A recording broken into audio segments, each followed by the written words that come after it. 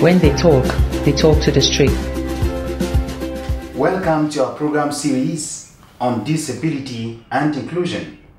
On today's edition of the program, we will focus on the activities of the Northwest Development Authority, Medino.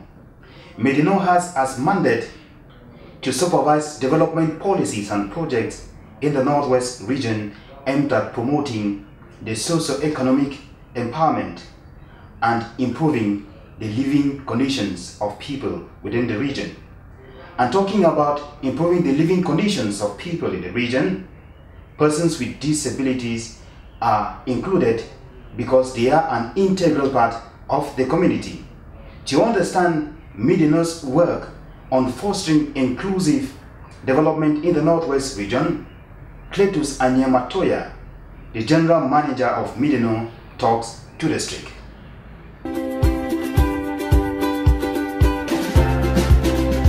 Mr. General Manager, you're welcome to today's edition of the program.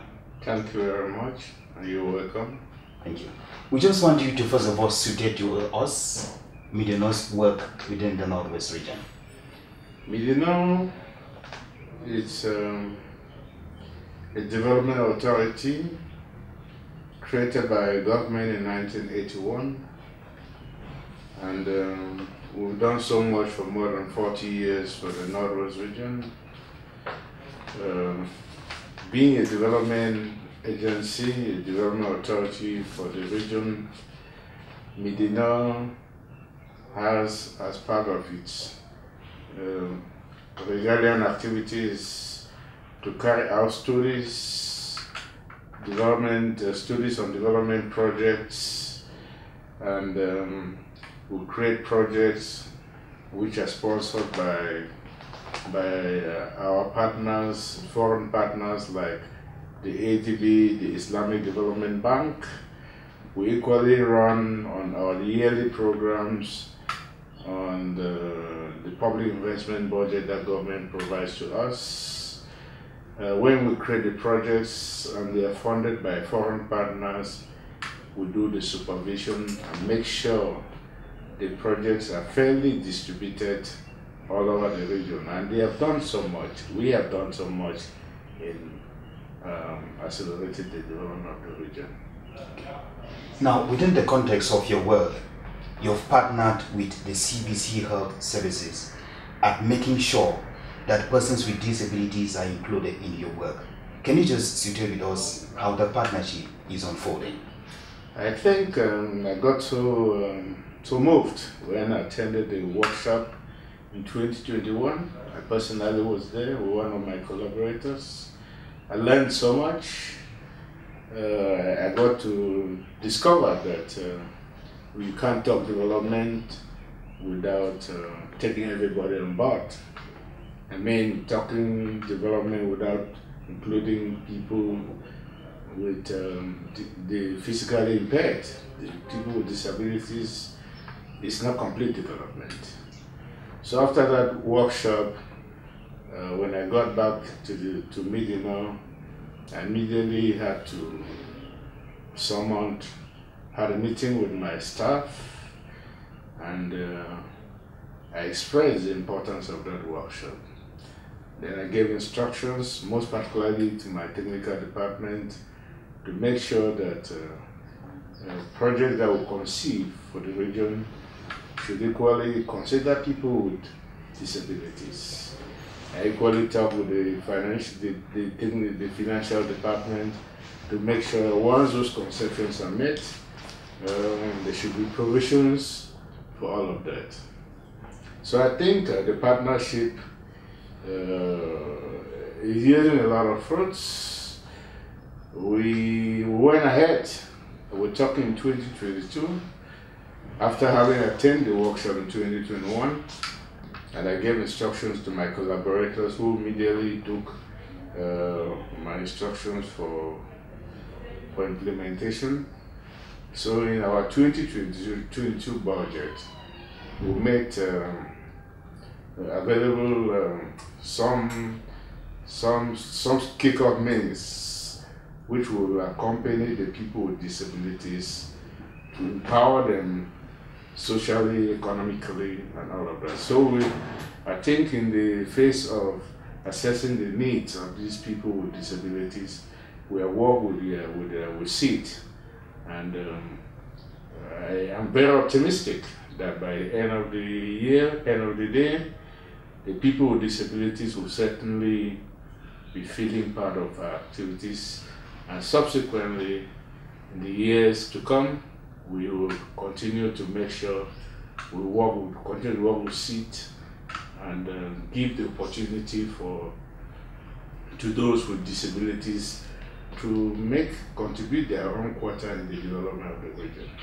Now, if one was to place a finger on strategies that actually include persons with disabilities in every of Medino's project, can you just highlight for us some of those strategies? Um, you know, um, we carry out activities.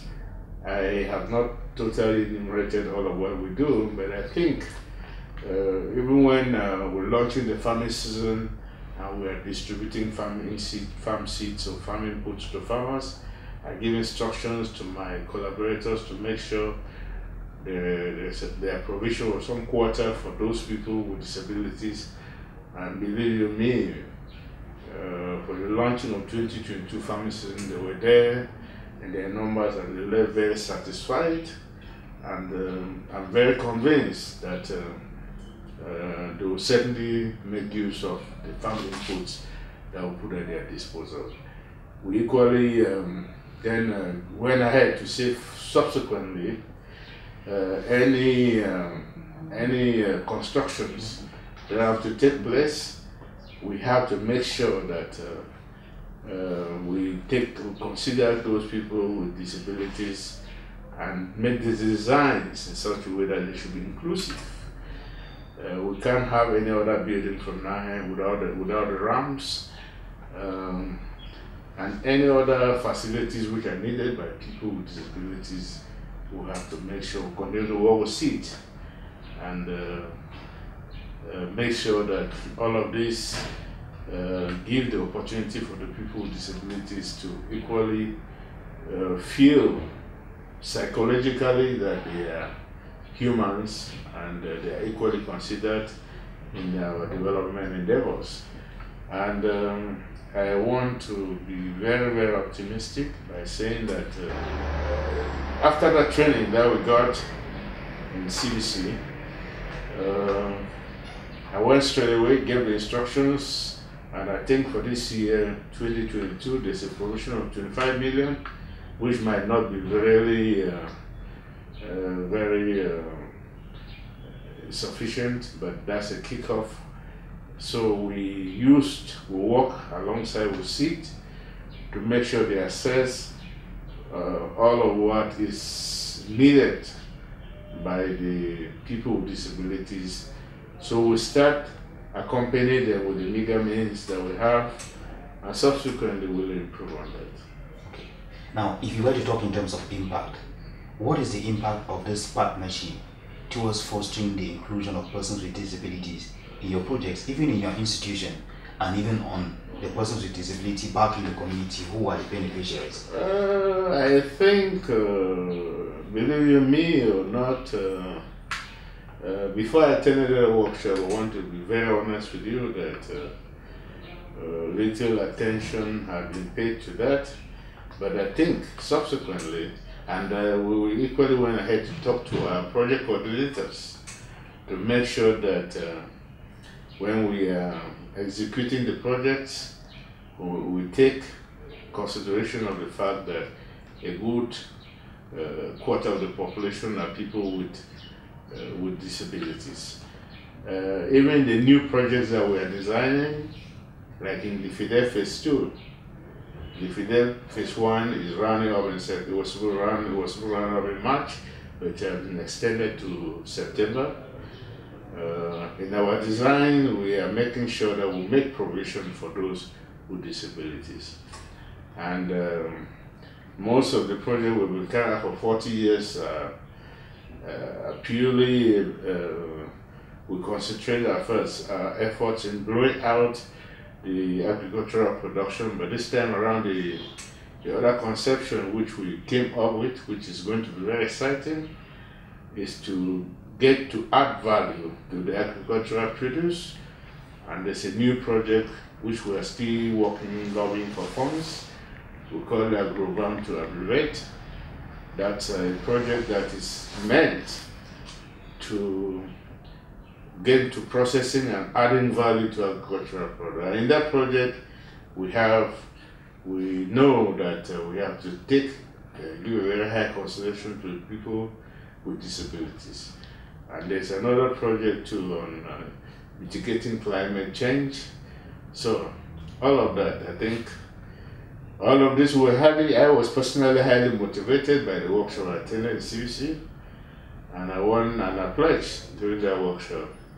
And one year after, we are ready into making sure that all of what we, we, we learned there, we try to give our brothers and sisters or children who, uh, not by their own design, find themselves in that category of the population to have access to, to the facilities that we are trying to create for the, for the population.